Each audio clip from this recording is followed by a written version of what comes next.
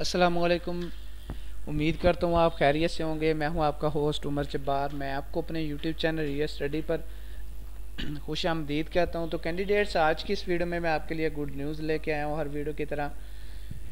तो I E L T S result 2022 के लिए आ चुका है। तो आप ऑनलाइन किस तरह से चेक कर सकते हैं? तो इसका रिज़ल्ट चेक करने का बहुत ही आसान मेथड है, जो आज की इस वीडियो में मैं आपसे शेयर करने वाला हूँ। तो फ़र्स्ट ऑफ़ ऑल अगर आप हमारे यूट्यूब चैनल रियल स्टडी पर न्यू है तो चैनल को सब्सक्राइब कर लें ताकि जो मैं आपको अपने चैनल या स्टडी पर रिज़ल्ट एडमिशन्स की, उसके बाद रिज़ल्ट्स की इंफॉर्मेशन और आंसर कीज़ और जॉब्स की इंफॉर्मेशन अपडेट्स देता रहता हूँ, वो आप तक भी पहुँच सके।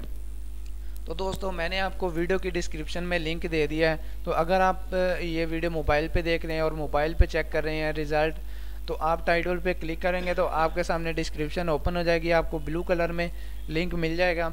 तो आप उस लिंक पर जैसे क्लिक करते हैं तो आपके सामने ये वेबसाइट ओपन हो जाती है रिज़ल्ट वाली I I E L T S I let's result की। तो जिसमें आने के बाद आप इसका रिज़ल्ट आसानी से चेक कर सकते हैं। किस तरह से चेक करना है, वो मैं अभी आपको समझाने वाला हूँ। तो दोस्तों, जैसे आप इस वेबसाइट पे आते हैं तो यहाँ पे आने के बाद आपने क्या करना है? गिवन अदर नेम तो आपने सबसे पहले तो आपने अपना यहाँ पे नेम लिखना है। तो जो भी आपका नेम होगा, आप यहाँ पे लिखेंगे।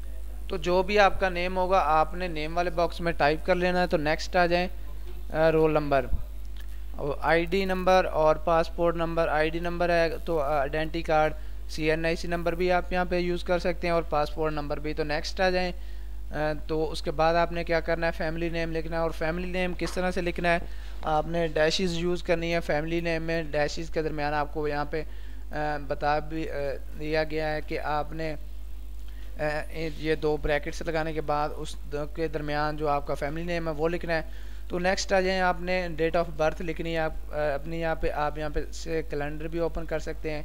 कैलेंडर से भी लिख सकते हैं और उसके बाद आप मैनुअली भी यहाँ पे टाइप कर सकते हैं।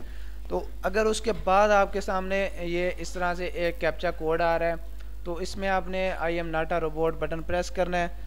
और उसके बाद अगर यहाँ पे टिक लग जाता है तो आप इसमें रिज़ल्ट गेट रिज़ल्ट का बटन प्रेस करके रिज़ल्ट सर्च कर सकते हैं। तो अगर आपके सामने यहाँ पे ये टिक का निशान नहीं आ रहा तो आप के सामने कोई बॉक्स दिखाई देता है। तो जिसमें आपको सजेस्ट किया जाता है कि आप इसमें टैक्सीज सेलेक्ट करें या फिर आपको उसमें कार्स या बाइक साइकिल्स दिखाई जाती हैं कि आप इनकी सिलेक्शन करें। तो आपको अगर टैक्सीज कहा जाता है बसेस कहीं जाती हैं तो आपने वो सिलेक्ट करना होगी और उसके बाद वेरीफाई का बटन प्रेस करेंगे। ब्लू कलर में आपको बटन मिल जाएगा और उसके बाद आपने गेट रिज़ल्ट का बटन प्रेस करना है। तो आपके सामने आपका रिज़ल्ट शो हो जाएगा। तो क्यों ना कि मैंने आज की इस वीडियो में यहाँ पे कोई वैलिड इन्फॉर्मेशन नहीं दी ये बॉक्सेस फिल नहीं किया तो इसलिए मेरे पास यहाँ पे कोई रिज़ल्ट शो नहीं हो रहा। तो अगर आप आज की वीडियो देखने के बाद यहाँ पे वैलिड इन्फॉर्मेशन टाइप कर दें और उसके बाद इसका टेस्ट रिज़ल्ट चेक कर सकते हैं। उम्मीद करता हूँ कि आज की सारी बातें आपको क्लियर हो गई होंगी। तो अगर आज की वीडियो देखने के बाद आपको फिर भी कोई इशू आ रहा है, इसका रिज़ल्ट चेक करने में फाइंड करने में तो आप मुझे कमेंट सेक्शन में बता सकते हैं। मैं आपके कमेंट का रिस्पॉन्ड जल्दी करूँगा और आपकी प्रॉब्लम सॉल्व करने की कोशिश करूँगा। तो अगर आज की ये वीडियो आपको पसंद आई हो तो वीडियो को लाइक करना और चैनल को सब्सक्राइब करना। और साथ में दिए गए बेल के आइकन को प्रेस करना ताकि नेक्स्ट वीडियो भी आप तक पहुँच सके और आप भी उस वीडियो से इन्फॉर्मेशन अपडेट हासिल कर सकें।